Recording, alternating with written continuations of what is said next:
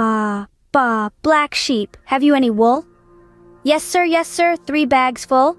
One bag for the master, another for the dame, and a bag for the little boy who lives down the lane. That's right, our friendly black sheep has plenty of wool for everyone. Now, let's recite it again. Ba, ba, black sheep, have you any wool? Yes, sir, yes, sir, three bags full. One for the master, one for the dame, and one for the little boy who lives down the lane.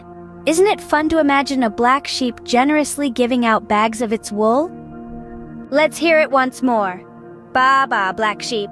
Have you any wool? Yes, sir. Yes, sir. Three bags full. One for the master, one for the dame, and one for the little boy who lives down the lane. Every time we say it, it gets more fun, doesn't it? And for the last time, with all the joy we can muster. Ba, ba, black sheep, have you any wool? Yes, sir, yes, sir, three bags full.